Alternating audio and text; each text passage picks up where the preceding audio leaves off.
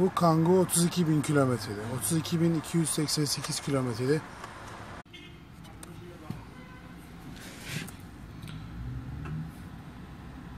Pedalın debriyaj pedalının bağlandığı plastik pedal sert olduğu zaman e, baskıdan dolayı daha kilometresi düşük ama burada bir zayıf nokta var.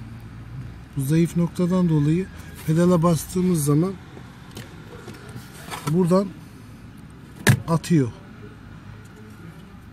E, Genelde bunlar zaten e, hani sert bir pedal yapısına sahip.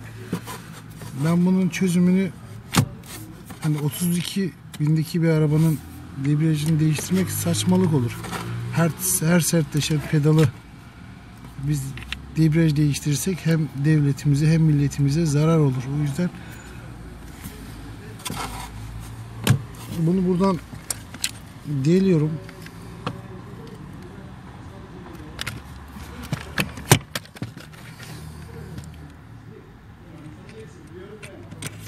Buradan deliyorum. Oraya kopilya ve pul koyacağım şimdi.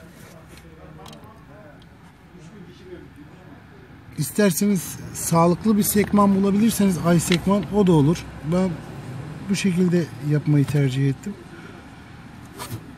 Orayı yapalım görelim.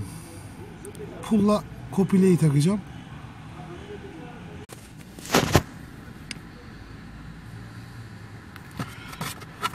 Pul koyuyorum önüne pul. Arkasına da kopili. Pedala bastığın zaman dışarı atmıyor. Yani çıkmıyor. Plastik olduğu için sekman e, ağzıyla beraber ben o kısmını tıraşlıyorum. Plastik kısmını oraya pul koyuyorum. Metal pul. Bu da bu durumdan tamamıyla kurtulmuş oluyor.